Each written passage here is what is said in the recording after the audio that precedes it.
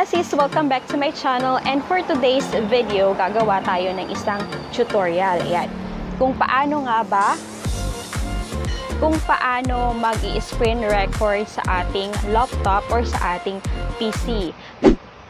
Bago natin simulan ang tutorial na ito, kung hindi ka pa nakakapag-subscribe, i-subscribe mo na. Hit the subscribe button para ma-update ka lagi sa aming mga upload. Ayan, ngayon na. Gawin mo na. Maghihintay ako.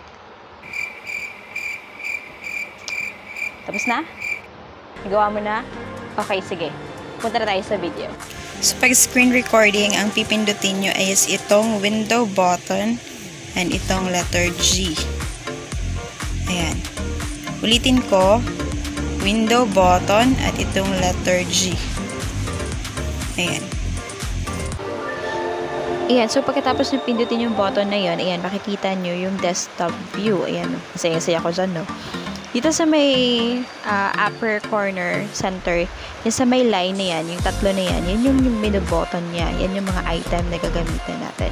Ito naman yung audio. Makikita nyo sa left, yan yung sa voice na, dyan yung maririnig yung mga boses ninyo. Ito yung sa capture. Ito yung i-click natin para ma-start yung uh, recording natin.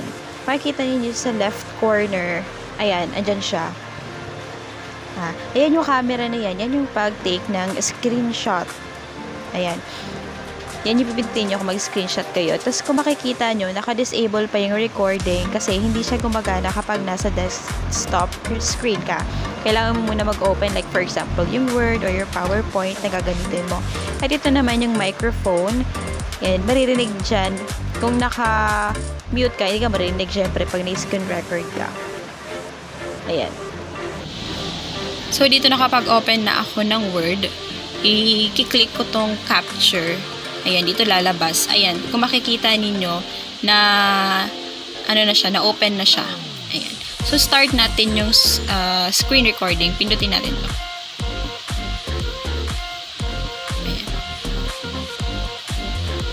So, makikita nyo, mayroon na siya ditong lumabas. Ayan. So, start recording na tayo.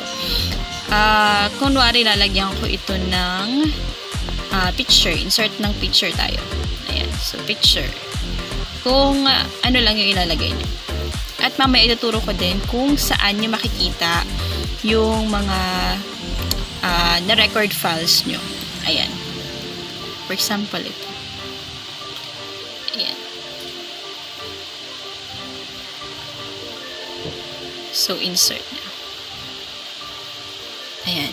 So, dyan yun naman yung makikita. So, kung gusto nyo naman, i-ano na siya. Stop. Kung gusto nyo pala gumamit ng microphone, ito. Ayan. Kapag wala siyang line, naka-on yan. So, naririnig kayo ng uh, screen recording nyo. Kung ipindutin nyo yan, kita nyo may line na, naka-off na siya. So, hindi na maririnig kung ano yung mga sinasabi nyo kapag nag-screen recording kayo sa laptop. So, yan. Kung i-stop natin, yan. Ayan, so ngayon, saan nyo naman nahanapin yung mga na, na save nyo na recording? So, ayan, punta kayo sa folder nyo dito sa uh, videos. Ayan. Dito siya sa captures. Diyan nyo makikita yung mga in-screen record nyo sa inyong mga PC. Uh, try natin i-open. So, ayan, Bessie, ito na yung screen record natin kanina. Thank you for watching. Sana nakatulong yung video tutorial natin ngayon para alam nyo na kung paano kayo mag-screen recording once na kailangan ninyong gamitin yon. Ayan.